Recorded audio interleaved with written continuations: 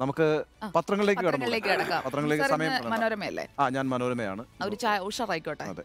മനോരമ ഇന്ന് വളരെ പ്രധാനപ്പെട്ട ഒരു വാർത്ത റിപ്പോർട്ട് ചെയ്തിട്ടുണ്ട്. അതിന്റെ ഒന്നാമത്തെ വാർത്തയായിട്ട് മനോരമ കൊടുത്തിരിക്കുന്നത് നിയമന അട്ടിമറി എന്നുള്ളതാണ്. ഗുരുതരമായൊരു ഒരു ഒരു പ്രശ്നമാണ് മനോരമ ഇന്ന് അവതരിപ്പിക്കുന്നത്. ഇന്ന് ഈ സംസ്ഥാനത്ത് പതിനായിരത്തി തൊള്ളായിരത്തി മുപ്പത്തിയെട്ട് താൽക്കാലിക നിയമനങ്ങളിൽ എംപ്ലോയ്മെന്റ് എക്സ്ചേഞ്ചിൽ നിന്ന് ഒരു നിയമനം മാത്രമാണ് നടന്നിരിക്കുന്നത്. പതിനായിരത്തി തൊള്ളായിരത്തി മുപ്പത്തിയെട്ട് താൽക്കാലിക നിയമനങ്ങൾ നടത്തിയതിനകത്ത് എംപ്ലോയ്മെന്റ് എക്സ്ചേഞ്ചിൽ നിന്ന് ഒറ്റ നിയമനം. എംപ്ലോയ്മെന്റ് എക്സ്ചേഞ്ച് വഴിയാണ് താൽക്കാലിക നിയമനം നട നടപ്പാക്കേണ്ടത് എന്നുള്ളതാണ്. എന്നാൽ അതൊക്കെ അട്ടിമറിച്ചുകൊണ്ട് ഈ നാഷണൽ ഹെൽത്ത് മിഷനിലെ. കേന്ദ്ര ആരോഗ്യ പദ്ധതി ഉണ്ടല്ലോ. ആ കേന്ദ്ര ആരോഗ്യ പദ്ധതിയിലാണ് ഈ പതിനായിരത്തി തൊള്ളായിരത്തി മുപ്പത്തിയെട്ട് അതിന്റെ ഏജന്റ് സംസ്ഥാന ആരോഗ്യ വകുപ്പ് തന്നെയാണ്. അപ്പോൾ പതിനായിരത്തി തൊള്ളായിരത്തി മുപ്പത്തിയെട്ട് പേരെ താൽക്കാലിക ജീവനക്കാരായി നിയമിച്ചിരിക്കുന്നത്. അതിന്റെ ഒരു കണക്ക് മലപ്പുറത്താണ് ഏറ്റവും കൂടുതൽ നിയമനമുള്ളത്. പിന്നീട് എറണാകുളത്താണ്. സംസ്ഥാനത്ത് ഉടനീളം എല്ലാ ജില്ലകളിലും ഏതാണ്ട് അഞ്ഞൂറ് മുതൽ ആയിരം വരെയുള്ള നിയമനങ്ങളാണ് നടത്തിയിരിക്കുന്നത്. ഈ താൽക്കാലിക നിയമനങ്ങൾക്കൊരു സമയപരിധിയുണ്ട്. ഒരു വർഷത്തിൽ കൂടുതൽ അത് തുടരാൻ പാടില്ല. പക്ഷേ കഴിഞ്ഞ പിണറായി സർക്കാരിന്റെ കാലത്ത് നിയമിച്ച ആളുകൾ ഇപ്പോഴും തുടർന്നുകൊണ്ടിരിക്കുന്നു. ഒരു നിയമനം മാത്രം എംപ്ലോയ്മെന്റ് എക്സ്ചേഞ്ച് വഴി. ബാക്കി പതിനായിരത്തി തൊള്ളായിരത്തി മുപ്പത്തേഴ് നിയമനങ്ങളും ഈ പറയുന്ന താൽക്കാലിക നിയമനങ്ങളും പിന്നെ നേരിട്ട് നടത്തിയിട്ടുള്ളതാണ്. അത് വളരെ പ്രധാനപ്പെട്ട ചില പോസ്റ്റുകളിലേക്കൊക്കെയാണ് public relation officer data entry നടത്തുന്ന ആളുകൾ. അങ്ങനെ വിവിധ തസ്തികകളിലേക്കാണ് ഏതാണ്ട് രണ്ട് കോടിയോളം രൂപ നമ്മൾ ഒരു മാസം ഈ താൽക്കാലിക- രാഷ്ട്രീയ നിയമനങ്ങൾ അങ്ങനെ സംശയമില്ലല്ലോ സംശയമില്ലല്ലോ. രാഷ്ട്രീയ നിയമനമായിരിക്കുമല്ലോ ഇത്തരം താൽക്കാലിക നിയമനങ്ങൾ എന്ന് പറയുന്നത് സ്വാധീനം ചെലുത്തി നടപ്പാക്കുന്ന രാഷ്ട്രീയ നിയമങ്ങളാണ് എല്ലാ സർക്കാരുകളുടെ കാലത്ത് നടപ്പാക്കും കേട്ടോ. അപ്പോൾ ഇതിനകത്ത് പിന്നെ കുറച്ച് കാര്യമായിട്ട് അത് സി പി എം ചെയ്യാറുണ്ട്. സി പി എമ്മിന്റെ അണികളെയും സി പി എമ്മിന്റെ പ്രവർത്തകരെയും ഒക്കെ അവർ വളരെ നന്നായി നോക്കുന്ന ആളുകളാണ് ആർത്ഥത്തിൽ അപ്പം പക്ഷേ അത് യഥാർത്ഥ അവകാശികൾക്ക് ലഭിക്കാതെ പോകുന്നു എന്നുള്ളതാണ് പ്രശ്നം. അപ്പം അങ്ങനെ നിയമന അട്ടിമറി എന്ന് പറയുന്ന വളരെ ഗുരുതരമായ ഒരു ഒരു ആരോപണം ഇന്ന് മനോരമ അതിന്റെ ഫ്രണ്ട് പേജിൽ തന്നെ സർക്കാരിനെതിരായി നൽകിയിരിക്കുന്നു. ആ വാർത്ത അതിനോടൊപ്പം തന്നെ എക്സാലോജിക്ക് സി എം ആറിൽ ഇടപാട് സംബന്ധിച്ചുള്ള വാർത്തയും നൽകിയിട്ടുണ്ട്. ആ വാർത്തകൾ സി എം ആറിലും എക്സാലോജിക്കുമായിട്ടുള്ള വാർത്തകൾ വളരെ വിശദമായിട്ട് സെൻട്രൽ പേജിൽ കൊടുത്തിട്ടുണ്ട്. വേറെ തമാശ എന്ന് വെച്ചാൽ നമ്മളിപ്പോൾ ഈ പുതുതായിട്ട് വന്ന ഗണേശൻ മന്ത്രി ഗണേഷ് ആയിട്ട് ബന്ധപ്പെട്ടൊരു വാർത്തയാണ്. വെച്ചാൽ ഇലക്ട്രിക് ബസ്സുകൾ ആ ഇലക്ട്രിക് ബസ്സുകൾ നിർത്തുമെന്ന് പറഞ്ഞപ്പോൾ ഇന്നലെ ഗോവിന്ദ മാസ്റ്റർ വാർത്താ സമ്മേളനത്തിൽ പറഞ്ഞു. അതൊരു മന്ത്രി ഒറ്റയ്ക്ക് എടുക്കുന്ന തീരുമാനമല്ല. അത് പിന്നെ സർക്കാർ എടുത്തിട്ടുള്ള തീരുമാനമാണ്. ക്യാബിനറ്റ് ഒരു മന്ത്രിയല്ല മന്ത്രിസഭ തന്നെ ഉണ്ട് എന്നൊക്കെ പറഞ്ഞിട്ട് ഫസ്റ്റ് മൂവിൽ തന്നെ അതിനെ ചെക്ക് ചെയ്തു. അതുകൊണ്ട് ഇലക്ട്രിക് ബസ്സുകൾ തുടരാനാണ് സാധ്യത. ഒരു ഷോക്കായിട്ട് ഗണേശന് അത് വന്നു. പ്രശാന്തും ആര്യ രാജേന്ദ്രനും എല്ലാവരും പെട്ടെന്ന് അതെ അതെ അതെ. അപ്പോൾ അതിന് മാത്രമല്ല ഈ പത്ത് രൂപയാണല്ലോ മിനിമം കൂലിയാക്കി മിനിമം ടിക്കറ്റ് ചാർജ് ആക്കിയത് അത് ഉയർത്തുമെന്നും ഗണേശൻ പറഞ്ഞിരുന്നു. അപ്പോൾ തന്നെ മനോരമ ചെയ്തിരിക്കുന്ന ഒരു കാര്യം ചില ആന്റണി രാജുവിന്റെ ഒരു ഇന്റർവ്യൂ എടുത്തിട്ടുണ്ട്. അത് അകത്ത പേജിൽ കൊടുത്തിട്ടുണ്ട്. ആ ആന്റണി രാജുവിന്റെ ഇന്റർവ്യൂവിൽ ആന്റണി രാജു പറയുന്നുണ്ട് അതൊക്കെ ജനവിരുദ്ധമായ നീക്കമാണ് എന്നുള്ളത് ഈ ആന്റണി രാജുവിന് ആ കസരന്ന് ഇറങ്ങിയത് അങ്ങോട്ടേക്ക് ഒട്ടും ഒരു കംഫർട്ടബിൾ കംഫർട്ടബിൾ ആയിട്ടില്ല. എക്സിറ്റ് അത്രയ്ക്ക് സ്മൂത്ത് ആയിരുന്നില്ല പക്ഷേ വേറെ കാര്യം പറയാൻ കേട്ടോ. ഞാൻ വിട്ടുപോയനെ. നിയമന അട്ടിമറിയുമായി ബന്ധപ്പെട്ട് മനോരമ ഒരു വാർത്ത ഫ്രണ്ട് പേജിൽ നൽകുമ്പോൾ അകത്ത പേജിൽ സെൻട്രസ് പേജിൽ വളരെ പ്രധാനപ്പെട്ട മറ്റൊരു വാർത്ത നൽകുന്നുണ്ട്. അതെന്താണെന്ന് വെച്ചാൽ രാജ്യത്ത് തന്നെ പി എസ് സി വഴി ഏറ്റവും അധികം നിയമനങ്ങൾ നടത്തിയത് കേരള സർക്കാരാണ്. ഏതാണ്ട് എഴുപതിനായിരത്തോളം നിയമനങ്ങളാണ് പി എസ് സി വഴി വിവിധ സംസ്ഥാനങ്ങൾ നടത്തിയിട്ടുള്ളത്. അതിൽ ഏതാണ്ട് മുപ്പത് ഇരുപത്തി ഒമ്പതിനായിരത്തിനടുത്ത് നിയമനം നടത്തിയിരിക്കുന്നു. പകുതിയോളം. ഏ? പകുതിയോളം. ആ ഏതാണ്ട് പകുതിയോളം നടത്തിയിരിക്കുന്നത്. കൂടുതൽ പി എസ് സി നിയമനങ്ങൾ കേരളത്തിലാണെന്നത് യു പി എസ് സിയുടെ റിപ്പോർട്ടാണ് രണ്ടായിരത്തി ഇരുപത്തിരണ്ട് ജൂലൈ മുതൽ രണ്ടായിരത്തി ഇരുപത്തി മൂന്ന് ജൂൺ വരെ രാജ്യത്ത് ഏറ്റവും അധികം നിയമനം നടത്തിയത് പി എസ് സി കേരളത്തിലെ പി എസ് സി ആണ്. ഈ കാലയളവിൽ ഇരുപത്തിയേഴ് സംസ്ഥാന പി എസ് സികൾ നടത്തിയ അറുപത്താറായിരത്തി എണ്ണൂറ്റി എൺപത്തെട്ട് നിയമനങ്ങളിൽ ഇരുപത്തി എണ്ണായിരത്തി എഴുന്നൂറ്റി മുപ്പതെണ്ണവും കേരളത്തിലാണ്. അതായത് നാൽപ്പത്തിരണ്ട് ദശാംശം ഒമ്പത് അഞ്ച് ശതമാനം. ഏതാണ്ട് നാൽപ്പത്തി മൂന്ന് ശതമാനം നിയമനവും നടത്തിയിരിക്കുന്നത് കേരളം അപ്പോൾ ഒരു വശത്ത് നിയമന തട്ടിപ്പ് നടത്തുന്നു എന്ന് പറയുമ്പോൾ നിയമന അട്ടിമറി നടത്തുന്നു എന്ന് പറയുമ്പോൾ മറുവശത്ത് സംസ്ഥാന പി എസ് സി വഴി ഏറ്റവും കൂടുതൽ നിയമനം നടത്തിയതും കേരളമാണ് എന്ന് നമ്മൾ കാണാതെ പോയി കൂടാ. പിന്നെ പ്രധാനമായും ഞാൻ പറഞ്ഞല്ലോ ഇന്ന് വളരെ ശ്രദ്ധേയമായ ഒരു കാര്യം. മഹാരാജാസ് കോളേജിലെ പ്രിൻസിപ്പളിനെ സ്ഥലം മാറ്റിയിട്ടുണ്ട്. അപ്പോൾ അത് ഈ പറഞ്ഞ കണക്ക് ഈ കഴിഞ്ഞ ദിവസങ്ങളിലെല്ലാം മഹാരാജാസ് കോളേജ് നമുക്കൊന്നാലോചിച്ച് അഭിമന്യു വധത്തിന് ശേഷം കേരളം ഏറ്റവും കൂടുതൽ ശ്രദ്ധിക്കുന്ന ഒരു കലാലയമാണല്ലോ മഹാരാജ് കോളേജ് നമുക്ക് ഒട്ടും എന്താ പറയുക ആശാസ്യമല്ലാത്ത പല കാര്യങ്ങളും നടക്കുന്നു. ഇന്നിപ്പോൾ ഏറ്റവും അവസാനം വന്നിരിക്കുന്നത് ഒരു- ഒരു വിദ്യാർത്ഥിയെ കുത്തി പരിക്കേൽപ്പിച്ചിരിക്കുന്നു അതിനു മുമ്പ് ഒരു പിന്നെ എന്താ പറയുക ഭിന്നശേഷിക്കാരനായ അധ്യാപകനെ പരിഹസിക്കുന്നതുമായി ബന്ധപ്പെട്ടൊരു വീഡിയോ വന്നിരുന്നു. പിന്നെ ആർഷോയുടെ മാർക്ക് ലിസ്റ്റുമായി ബന്ധപ്പെട്ട വിവാദം വന്നിരുന്നു. അപ്പോൾ ഈ മഹാരാജ് കോളേജ് യഥാർത്ഥത്തിൽ ഒട്ടേറെ വിവാദങ്ങളിലൂടെയാണ് ഇപ്പം ജനശ്രദ്ധ നേടിയിരിക്കുന്നത്. അതിനെക്കുറിച്ചാണ് മനോരമയുടെ എഡിറ്റോറിയൽ ഇന്ന്. മഹാരാജ കലാലയത്തെക്കുറിച്ച് കേരളത്തിന് ഒരുപാട് പ്രതീക്ഷയുണ്ടെന്നും സത്യത്തിൽ ഇപ്പോൾ എന്താ പറയുക പറ്റുകയെന്ന് വെച്ചാൽ ഒരുപാട് കാലങ്ങളായിട്ട് ഈ ഇടയ്ക്കിടയ്ക്ക് ഈ സ്കൂ കോളേജിന് അവധി പ്രഖ്യാപിക്കേണ്ടി വരുന്നുണ്ട് കുട്ടികളുടെ പഠിത്തത്തെയൊക്കെ അത് ബാധിക്കുന്നത്. അപ്പോൾ അത് സ്വാഭാവികമായിട്ടും ഒരു ചോയ്സ് ആയിട്ട് വരില്ല. ഈ മാതാപിതാക്കളുടെ ചോയ്സ് ആയിട്ട് മഹാരാജാസ് കോളേജ് വരില്ല. ഇനിയിപ്പോൾ അങ്ങോട്ടും ഇങ്ങനെയാണ് അതിന്റെ അവസ്ഥയെങ്കിൽ. അപ്പോൾ അതിനെക്കുറിച്ച് മനോരമ ഒരു എഡിറ്റോറിയൽ എഴുതിയിരിക്കുന്നത് വളരെ ശ്രദ്ധേയമാണ്. സംസ്ഥാനത്തെ ഒരു കലാലയത്തിലെ അന്തരീക്ഷം മോശമാവുന്നതിനെ വളരെ ഗൗരവത്തോടെ മനോരമ കാണുന്നു. പ്രത്യേകിച്ച് അത് മഹാരാജ് കോളേജാകുമ്പോൾ അതിനൊരു വളരെ പ്രാധാന്യമുണ്ട്. ഈ പറയുന്ന സെൻട്രസ് പേജിൽ വളരെ പ്രാധാന്യത്തോടുകൂടി നേർക്കാഴ്ച എന്ന് പറയുന്ന പേജിൽ Manorama C M R L വിവാദമാണ്. നമുക്ക് പ്രതീക്ഷിക്കുന്നത് പോലെ തന്നെ കണ്ടെത്താവുന്ന പ്രതീക്ഷിച്ചതുപോലെ തന്നെ വളരെ പ്രാധാന്യത്തോടുകൂടിയാണ് സി എം ആർ എൽ വാർത്തകളെല്ലാം തന്നെ നൽകിയിരിക്കുന്നത്. അതിൽ സി എം ആർ എല്ലിനോട് വിശദീകരണം ചോദിച്ചപ്പോൾ K S I D C C M R L നടക്കുന്ന വിഷയങ്ങളെക്കുറിച്ച് ഉള്ള കാര്യങ്ങൾ പിന്നെ മറച്ചു വെച്ചു അത് ആർ ഒ സിക്ക് നൽകിയ രേഖകളിൽ മറച്ചു വെച്ചു എന്നുള്ള വാർത്ത കൊടുക്കുന്നുണ്ട്.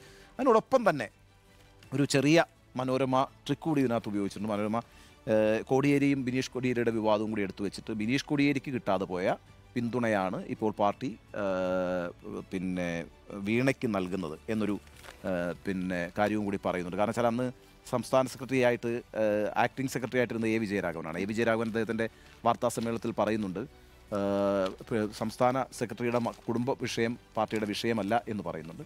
അതേസമയം എം വി ഗോവിന്ദൻ പറയുന്നത് എം പി ഗോവിന്ദനും എം പി ഗോവിന്ദനും അടക്കമുള്ള നേതാക്കളും രംഗത്തിറങ്ങി വളരെ ശക്തമായി സി പി എം ഇപ്പോൾ പിണറായിയെ പിന്തുണയ്ക്കുന്നു എന്ന് പറയുന്നത് വളരെ പ്രധാനപ്പെട്ട കാര്യമാണ്. ഒരു വാർത്ത വളരെ ശ്രദ്ധേയമായിട്ടുള്ളൊരു കാര്യമാണ്. അതുകൂടി പറഞ്ഞ് ഞാൻ മനോരമ അവസാനിപ്പിക്കാം. എന്താണെന്നറിയോ നികേഷേ അടുത്ത സാമ്പത്തിക വർഷവും വലിയ രീതിയിൽ കേന്ദ്രം ഫണ്ട് വെട്ടിക്കുറയ്ക്കാൻ പോവുകയാണ് കേരളത്തിന്റെ.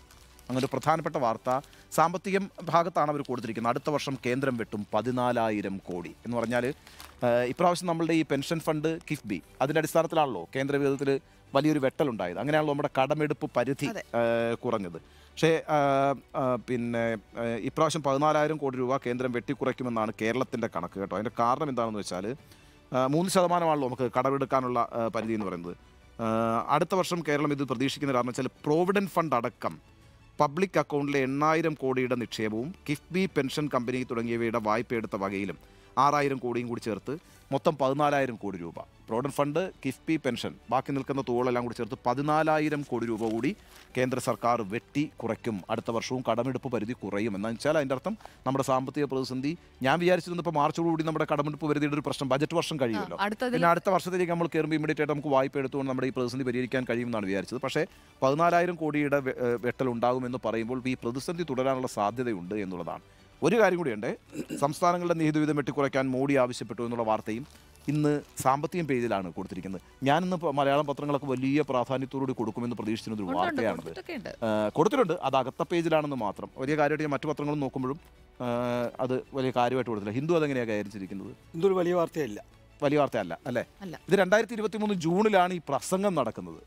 ഈ പറയുന്ന പ്രസംഗം നടക്കുന്നത്. രണ്ടായിരത്തി ഇരുപത്തി മൂന്ന് സെലക്റ്റീവ് അപ്ലോഡ് ആയിട്ടൊക്കെയാണ് വരുന്നത്. അല്ല എന്നാൽ സെലക്റ്റീവ് അപ്ലോഡ് ആണെങ്കിൽ പോലും സുജയ അത് പ്രസംഗിച്ചു എന്നുള്ളത് ഒരു നമുക്ക് പത്രത്തിലേക്ക് പോവാം. നമുക്ക് അടുത്ത ക്യുക്കായിട്ട് പോവാം. നമ്മുടെ അതിഥി വന്നു.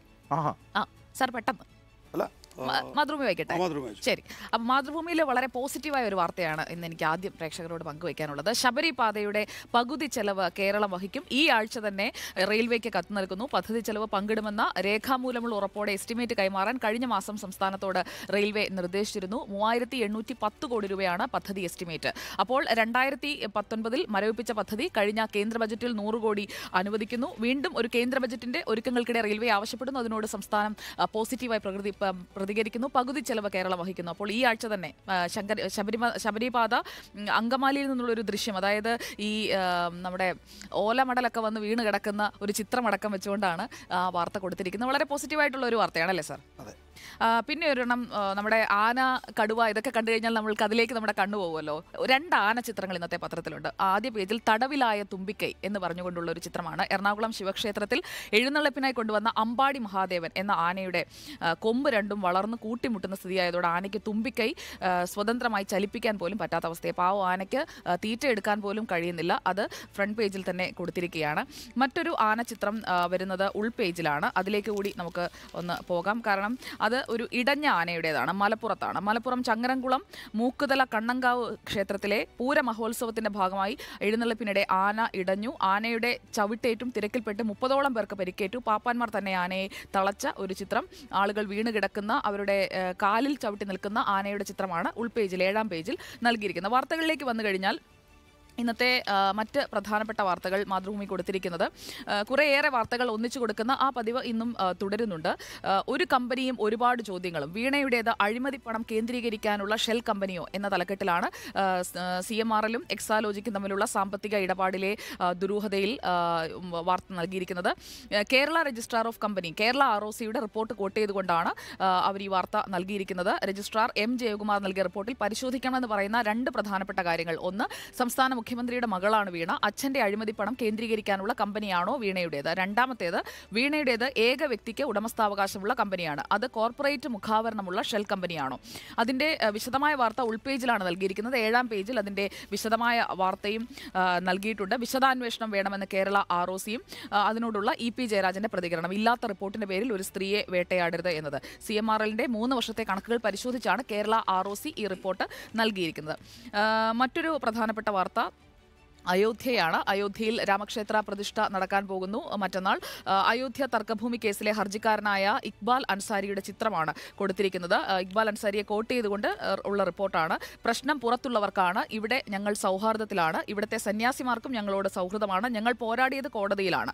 ക്ഷേത്രത്തിന് സ്ഥലം അനുവദിച്ചത് പരമോന്നത കോടതിയാണ്. അതിൽ ഹിന്ദു സഹോദരങ്ങൾക്കുള്ള സന്തോഷം ഞങ്ങളും പങ്കിടുന്നു എന്ന ഇക്ബാൽ അൻസാരിയുടെ അഭിമുഖം കൂടി ചേർത്ത് അഞ്ച് ജഡ്ജിമാർക്ക് ക്ഷണമുള്ളതൊക്കെ ചേർത്ത് ആദ്യ പേജിൽ തന്നെ മാതൃഭൂമി ആ വാർത്ത ഉൾപ്പെടുത്തിയിരിക്കുന്നു. അതോടൊപ്പം ഓഹരി വിപണി R B I Maharashtra Uttar Pradesh Chhattisgarh Madhya Pradesh Haryana Goa സംസ്ഥാനങ്ങളിലെ പൊതു അവധി അതെല്ലാം ഈ വാർത്തയിൽ ഉൾപ്പെടുത്തിയിട്ടുണ്ട്. മറ്റൊരു നല്ല വാർത്ത കൈരളി കേരളത്തിന് സ്വന്തം എ ഐ പ്രൊസസർ കൈയടിക്കാം എന്ന തലക്കെട്ടോടു കൂടിയാണ് ആ വാർത്ത നൽകിയിരിക്കുന്നത്. സാങ്കേതിക സർവകലാശാല വികസിപ്പിച്ച എ ഐ പ്രൊസസറാണ്. അതായത് നിർമ്മിത ബുദ്ധി അധിഷ്ഠിത ആപ്ലിക്കേഷനുകളിൽ ഒരു വിപ്ലവം സൃഷ്ടിക്കാൻ കഴിയുന്ന തരത്തിലാണ് കേരള സ്വന്തമായി എ ഐ പ്രൊസസർ വികസിപ്പിച്ചത്. ഡിജിറ്റൽ സർവകലാശാല രണ്ട് രണ്ട് ശ്രേണിയിലുള്ള പ്രോസസ്സറുകൾ നിർമ്മിച്ചിരിക്കുന്നു. അതിന്റെ പേരാണ് കൈരളി. കാർഷിക സുരക്ഷാ മേഖലകൾ. അവിടെയൊക്കെ വലിയ മാറ്റങ്ങൾക്ക് വഴിവെക്കുന്ന ഒരു ഒരു നേട്ടമായി തന്നെ ഇതിനെ കാണാം. അതായത് കുറഞ്ഞ ഊർജം ആവശ്യമുള്ള ആപ്ലിക്കേഷനുകളിൽ സെൻസറുകൾക്കൊപ്പം തന്നെ ഇത് ഉപയോഗിക്കാം. ഡേറ്റയെ തത്സമയം വിശകലനം ചെയ്യാനും ഉപയോഗിക്കാം. അപ്പോൾ എ ഐ പ്രൊസസർ കൈരളിയെക്കുറിച്ചുള്ള വാർത്തയും ആദ്യ പേജിൽ തന്നെ കൊടുത്തിരിക്കുന്നു. മനുഷ്യ ചങ്ങലയെക്കുറിച്ചുള്ളത് വളരെ ചെറിയ ഒരു വാർത്തയാണ്. വലിയൊരു പ്രതിഷേധമാണ്. അതിന് അർഹിക്കുന്ന പ്രാധാന്യം കിട്ടിയോ എന്നതിൽ എനിക്കും സംശയമുണ്ട്. ഡിവൈഎഫ്ഐയുടെ മനുഷ്യ ചങ്ങല ഇന്ന് എന്ന് പറഞ്ഞുകൊണ്ട് ഒരു നാലുവരി വാർത്തയാണ് ആദ്യ പേജിൽ നൽകിയിരിക്കുന്നത് ശനിയാഴ്ച അഞ്ചിന് നടക്കും. കാസർഗോഡ് മുതൽ തിരുവനന്തപുരം വരെയുള്ള ചങ്ങല. ആരൊക്കെ പങ്കെടുക്കും? കൈകൊടുത്ത് പ്രതിജ്ഞ എടുത്ത ശേഷം പ്രധാന കേന്ദ്രങ്ങളിലെല്ലാം പൊതുസമ്മേളനം. അങ്ങനെ കൃത്യമായി പറഞ്ഞാൽ ഒന്ന് രണ്ട് മൂന്ന് നാല് വരി മാത്രമാണ് ഇതിനെക്കുറിച്ച് നൽകിയിരിക്കുന്നത്. പക്ഷേ വലിയ പ്രതിഷേധം തന്നെയാണ് ഡിവൈഫിയുടെ മനുഷ്യ ചങ്ങലയിലൂടെ അവർ അണിചേർക്കുന്നത്. അത് വൈകുന്നേരമാണ്. അതിന്റെ തത്സമയ വിവരങ്ങളൊക്കെ റിപ്പോർട്ടറിലൂടെ പ്രേക്ഷകർക്ക് കണ്ട് അറിയാം. മറ്റ് വാർത്തകളിലേക്ക് വന്നു കഴിഞ്ഞാൽ പുസ്തകത്തിൽ ഭാരതം അടിച്ചേൽപ്പിക്കുന്നതുമായി ബന്ധപ്പെട്ട വലിയ വിവാദമായിരുന്നല്ലോ. അപ്പോൾ അങ്ങനെ ഒരു നീക്കമില്ല. അങ്ങനെ ഭാരതം എന്ന വാക്ക് അടിച്ചേൽപ്പിക്കില്ല എന്ന് കേന്ദ്ര സർക്കാർ പറഞ്ഞതായി. കേന്ദ്ര വിദ്യാഭ്യാസ മന്ത്രി ധർമ്മേന്ദ്ര പ്രധാൻ മന്ത്രി വി ശിവൻകുട്ടിക്ക് അയച്ച കത്ത് കോട്ട് ചെയ്തുകൊണ്ടുള്ള വാർത്തയും ആദ്യ പേജിൽ തന്നെ മാതൃഭൂമി നൽകിയിട്ടുണ്ട്. നമുക്ക് എഡിറ്റോറിയൽ പേജിലേക്ക് വന്നു കഴിഞ്ഞാൽ അവിടെ പോലീസിനെ കുറിച്ചാണ് എഡിറ്റോറിയൽ. അതോടൊപ്പം ഇന്ന് ഇന്നത്തെ ദിവസത്തിന്റെ ഒരു പ്രത്യേകത ഇന്നത്തെ അല്ല നാളത്തെ ദിവസത്തിന്റെ പ്രത്യേകത വെച്ചുകൊണ്ടാണ് നൽകിയിരിക്കുന്നത്. ഹാ ലെനിൻ കാണാം ഭവസാന്നിധ്യം ഇവിടെ. എം. എ ബേബിയുടെ ലേഖനമാണ്. ലെനിൻ മരിച്ചത് നമുക്കറിയാം ആയിരത്തി തൊള്ളായിരത്തി ഇരുപത്തിനാല് ജനുവരി മാസം ഇരുപത്തി ഒന്നാം തീയതിയാണ് ഭവസാന്നിധ്യം എന്നാണ്. ഭവസാന്നിധ്യം. അത് ഭവാൻ മറ്റു വിശേഷണങ്ങൾ അതുമായി ചേർത്ത് വെക്കാവുന്ന അമ്പത്തിനാല് വയസ്സിലല്ലേ ലെനിൻ മരിക്കുന്നത് അല്ലേ? അതെ. ഏപ്രിൽ ഇരുപത്തിരണ്ട് ജനനം ജനുവരി ഇരുപത്തിയൊന്നിനാണ് അദ്ദേഹത്തിന്റെ മരണം. അപ്പോൾ നാളെയാണത്. ഞാനപ്പോൾ ഇന്ന് എടുത്തു നാളെ നമുക്ക് ബ്രേക്ക്ഫാസ്റ്റ് ഷോ ഇല്ലല്ലോ. അപ്പൊ അപ്പോൾ അതുകൊണ്ട് ഇന്ന് അനുസ്മരിക്കാമെന്ന് കരുതി ആ ലേഖനം എടുത്തതാണ്. അതായത് വിശദമായ തന്നെ കൊടുത്തിരിക്കുകയാണ് ലെനിന്റെ ഒരു ചിത്രം. മോസ്കോയിലെ സ്വേസ്ലോ ചത്തുരത്തിൽ റെഡ് ആർമിയെ അഭിസംബോധന ചെയ്യുന്ന ലെനിൻ താഴെ ട്രോട്സ്കി ചാരി നിൽക്കുന്ന ഒരു ചിത്രമാണ് കൊടുത്തിരിക്കുന്നത്. അങ്ങനെ വളരെ വിശദമായി തന്നെ എഴുതിയിരിക്കുന്ന ഒരു ലേഖനം അത് വായിക്കാവുന്ന ഒരു ലേഖനമാണ്. പിന്നെ ബാക്കി പ്രതികരണങ്ങളിലൊക്കെ എം വി ഗോവിന്ദന്റെയൊക്കെ പ്രതികരണങ്ങൾ അങ്ങനെയുള്ള പ്രതികരണങ്ങളൊക്കെയാണ് പ്രധാനമായും ഉൾപ്പെടുത്തിയിരിക്കുന്നത്. ബാക്കിയൊക്കെ നമ്മൾ പറഞ്ഞ വാർത്തകളാണ്. സാർ നമുക്ക് ഹിന്ദുവിലേക്ക് പെട്ടെന്ന് പോകാൻ തോന്നുന്നു. ഓക്കെ. ഹിന്ദുവിൽ പതിവ് പോലെ പതിവ് പോലെ സുപ്രീം കോടതി refuses more time to Bilkis case convicts എന്നുള്ള തുടങ്ങിയ അല്ല അത് ഒരു ഒരു പ്രതി പ്രതിയല്ല ശിക്ഷിക്കപ്പെട്ടയാൾ കൂടുതൽ സമയം വേണമെന്ന് ആവശ്യപ്പെട്ടു പോയി. പക്ഷേ സുപ്രീം കോടതി അത് അനുവദിച്ചില്ല. അതൊക്കെയാണ് ലീഡ് വാർത്തയുള്ളത്. പക്ഷേ രണ്ടാഴ്ച സമയം കൊടുത്തപ്പം നാളെ ചേരണം കേരളം ആ, രണ്ടാഴ്ച. അപ്പോൾ നാളെയാണ് അതിന്റെ അതാണല്ലോ നമ്മൾ ഇരുപത്തിരണ്ടാം തീയതി എന്ന് പറയുന്നത്. ഇരുപത്തിരണ്ടാം തീയതി അയോധ്യ. അതിന്റെ തലേന്ന് കയറണം. ഒരു കേരള വാർത്തയുള്ളത് poll fever grips Thrissur Lok Sabha constituency എന്നുള്ളതാണ്. അതായത് തൃശ്ശൂരിൽ മൂന്ന് സ്ഥാനാർത്ഥികൾക്കും വേണ്ടിയിട്ടുള്ള തെരഞ്ഞെടുപ്പ് പ്രചാരണം തുടങ്ങിയിരിക്കുന്നു എന്നുള്ളതാണ്. ടി എൻ പ്രതാപന് വേണ്ടി ചുവരെഴുത്ത് തുടങ്ങിയിരിക്കുന്നു. വി എസ് സുനിൽകുമാറിനെ സ്ഥാനാർത്ഥിയായി ഇതിനകം തന്നെ പ്രവർത്തകർ പ്രഖ്യാപിച്ചു കഴിഞ്ഞിരിക്കുന്നു. നാടിന് വേണ്ടി നന്മയ്ക്ക് ഒരു വോട്ട് അർഹതയ്ക്ക് ഒരു വോട്ട് സുനിലേട്ടന് ഒരു വോട്ട്. ഈ ബി ജെ പി ശക്തമായ പ്രചരണം തൃശ്ശൂരിൽ ആരംഭിച്ചു കഴിഞ്ഞ സ്ഥിതിക്ക് പ്രധാനമന്ത്രി നരേന്ദ്രമോദി തന്നെ തൃശ്ശൂരിലെത്തി പ്രചരണം തുടങ്ങിയ സ്ഥിതിക്ക് മൂന്ന് സ്ഥാനാർത്ഥികളും യഥാർത്ഥത്തിൽ രംഗത്തെത്തിയിരിക്കുന്നു എന്നുള്ളതാണ്. വി എസ് സുനിൽകുമാറിന്റെ കാര്യത്തിനകത്ത് ഇടതുപക്ഷ ജനാധിപത്യ മുന്നണി പൊതുവെ ഇപ്പോൾ സ്ഥാനാർത്ഥി നിർണയത്തിലേക്ക് കടന്നുകൊണ്ടിരിക്കുകയാണ്. വി എസ് സുനിൽകുമാറിന്റെ കാര്യത്തിൽ ഒരു നേരെ നേരത്തെയുള്ള തീരുമാനം ഉണ്ടാകും രംഗത്തിറങ്ങിക്കൊള്ളാൻ ആവശ്യപ്പെടും എന്നുള്ളതാണ് സി പി ഐ സംസ്ഥാന എക്സിക്യൂട്ടീവ് കേട്ടോ ആണല്ലേ? അങ്ങനെയാണെങ്കിൽ സി പി ഐക്ക് ഒരു ഒരു ഗോഹെഡ് പറയാൻ കഴിയും വി എസ് സുനിൽകുമാറിനോട്. അപ്പോൾ ഏതാണ്ട് സുനിൽകുമാറിലേക്ക് കാര്യങ്ങൾ എത്തുന്നു എന്നുള്ളതാണ് ഏറ്റവും പോസിറ്റീവായിട്ടുള്ള ഈ വാർത്തയുടെ മറ്റൊരു ഡെവലപ്മെന്റ് എന്ന് പറയുന്നത്. Though the Lok Sabha election is yet to be announced and political parties are yet to select the candidates the Thrissur Lok Sabha constituency has already started feeling the political heat graffiti has started appearing in the constituency seeking support for T N Prathapan V S Sunilkumar and Suresh Gopi റിപ്രസെന്റിംഗ് the Congress the the Communist Party of India, and uh, Bharatiya Janata Party, respectively, reflecting the rising political temperature here. അപ്പോൾ അക്കാര്യത്തിൽ ഒരു വ്യക്തത ഏതായാലും നൽകുന്നുണ്ട് the Hindu V S Sunilkumar T N Prathapan Suresh Gopi എന്ന നിലയിലായിരിക്കും സ്ഥാനാർത്ഥി നിർണയം എന്നുള്ളത് മത്സര ചിത്രം അല്ലേ? ഒരു മത്സര ചിത്രം ഒരുങ്ങുന്നു. എന്നാണ് അന്തിമമായിട്ട് എന്തായാലും സ്ഥാനാർത്ഥി നിർണയം വന്നിട്ടില്ല. പക്ഷേ ഇനിയിപ്പോൾ വി എസ് സുനിൽകുമാറിനെ മാറ്റി നിർത്താൻ കഴിയില്ല എന്നൊരു പ്രശ്നം. അതാണ് അതാണ്. അതത്ര സുനിൽകുമാർ നമ്മുടെ വാർത്താ സമ്മേളനത്തിൽ വരുമ്പോഴൊക്കെ ആ. ചോദ്യം ചെയ്യാണല്ലോ. മാത്രമല്ല ദേഷ്യം വരിക.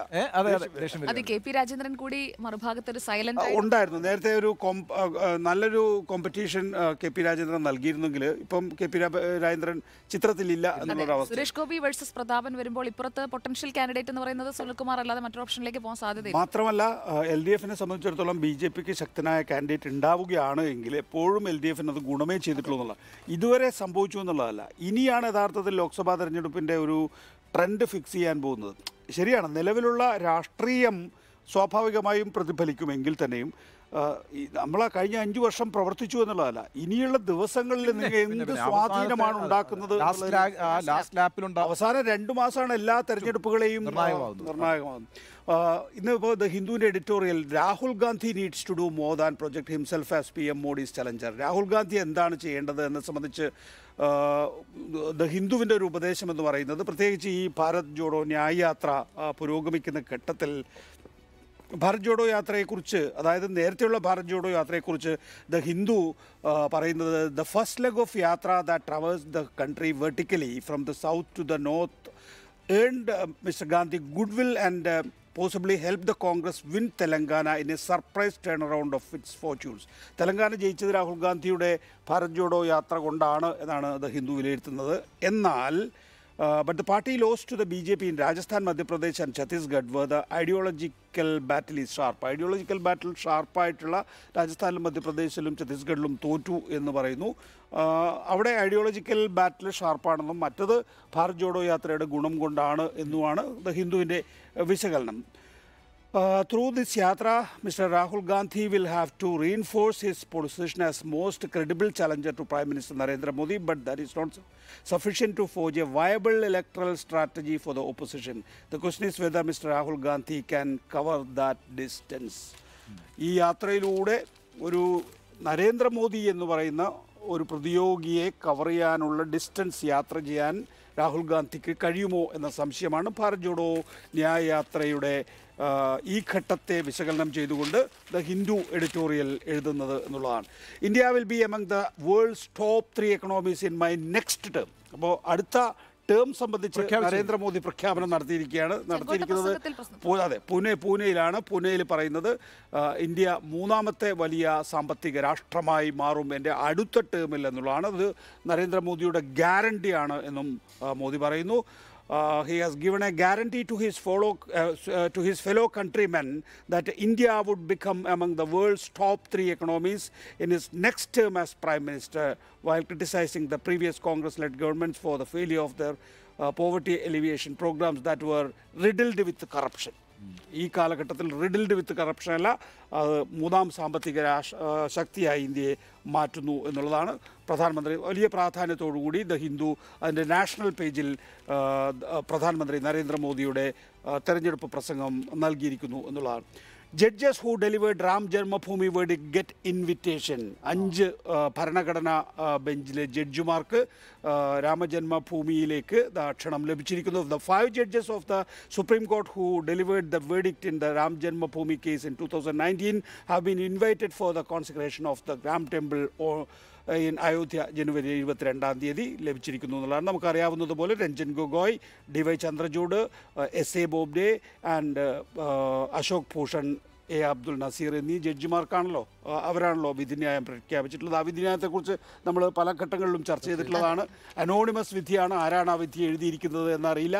അങ്ങനെ ഞങ്ങൾ തീരുമാനിച്ചതാണെന്ന് ഡി വൈ ചന്ദ്രചൂഡ് പറയുകയും ചെയ്തിട്ടുണ്ട്. ഏതായാലും അഞ്ച് ജഡ്ജിമാർക്ക് കൂടി ലഭിച്ചിരിക്കുന്നു. ഈ പറയുന്ന ഇരുപത്തിരണ്ടാം തീയതിയത്തെ കോൺസെക്രേഷൻ സെറിമണിയിൽ എന്നുള്ളതാണ് ഏറ്റവും പ്രധാനപ്പെട്ട മറ്റൊരു വാർത്ത. അതുപോലെ തന്നെ ഉത്തർപ്രദേശിലെ എസ് പിയും ആർ എൽ ഡിയും ടൈപ്പ് അനൗൺസ് ചെയ്തിരിക്കുന്നു.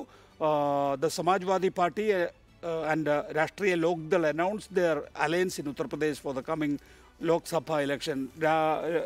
കോൺഗ്രസ് പാർട്ടിയെ സംബന്ധിച്ചിടത്തോളം തീരുമാനമെടുക്കാനിരിക്കുന്നതേ ഉള്ളൂ. അവർ ബി എസ് പിയുമായി അനൗപചാരികമായി സംസാരിക്കുന്നുണ്ട്. ബി എസ് പിയെ കൂടി ഇന്ത്യ മുന്നണിയിലേക്ക് കൊണ്ടുവരാനുള്ള ശ്രമം നടത്തുന്നുണ്ട്. അതൊന്നും ഈ വാർത്തയിലില്ല. ഈ വാർത്തയിലുള്ളതെന്ന് പറയുന്നത് S P R L D കൂട്ടുകെട്ട് നികേഷ് മനോരമ ഒരു വളരെ പ്രധാനപ്പെട്ട വാർത്തയായിട്ട് കൊടുക്കുന്നു കേട്ടോ. യു പിയിൽ കോൺഗ്രസ് ചോദിച്ചിരിക്കുന്ന സീറ്റ് എത്രയാണെന്നറിയോ? ഇരുപത്തിനാല്. അത് പത്ത് സീറ്റ് നൽകാമെന്ന് എസ് പി പറഞ്ഞിരിക്കുന്നത്. അത് വെച്ചാൽ റായ്ബറേലി അമേഠിയും ഫത്തേപൂർ സിക്രിയ അടക്കം ഒരു പത്ത് സീറ്റ് അങ്ങോട്ട് തരും. ഇപ്പം ചോദിച്ചത്ര ഇരുപത്തിനാല് സീറ്റ്.